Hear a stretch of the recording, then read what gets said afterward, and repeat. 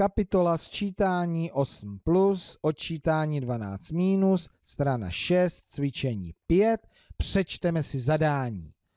Prohlédněte si grafické znázornění, vypočítejte a napište odpověď. Přečteme si zadání slovní úlohy. Teta kupovala jablka a hrušky.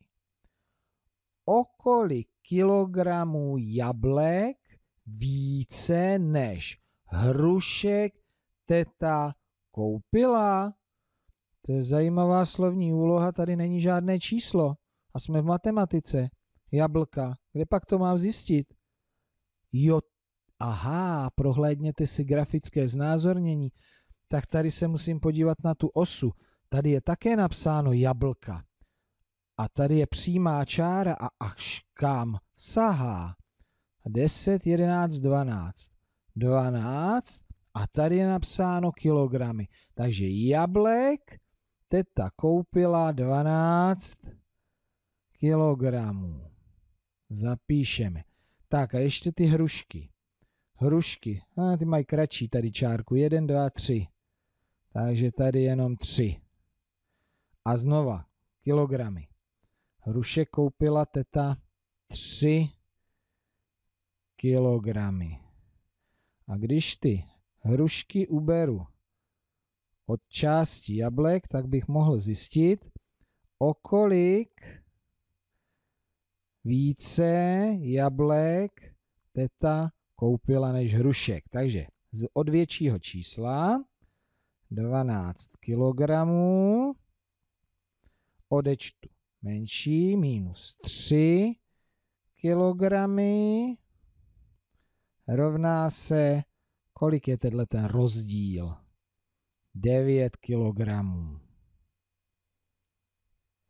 1, 2, 3, 4, 5, 6, 7, 8, 9. Přesvědčili jsme se, je to pravda. Tak a teďka odpověď, ale to musím nejdřív do otázky.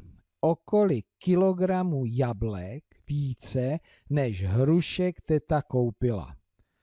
Jablek teta koupila o 9 kilogramů více. Tak, jdem na odpověď. Jablek, velké písmeno na začátku věty, ja, b, l, jab, le, k. Jablek, teta, te. Ta, další slovo, koupila, kou, kou, pila, jaké i pop. Tady máme napsáno měkké koupila, koupila a není to ve výjmenovaných slovech. Koupila o 9 kilogramů značku kg, kilogramů více. Ve slově více je také měkké i. Více. Také to není ve výjmenovaných slovech. Více. A na konci odpovědi je to věta tečka. Zajímavá slovní úloha. Co vy na to?